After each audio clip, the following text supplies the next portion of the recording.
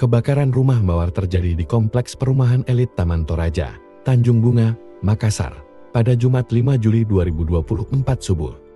Insiden ini menewaskan seorang penghuni rumah lanjut usia. Dalam video yang beredar, tampak petugas Inafis Polrestabes Makassar mengevakuasi jenazah korban. Korban dievakuasi menggunakan mobil ambulans dan dibawa ke rumah sakit Bayangkara.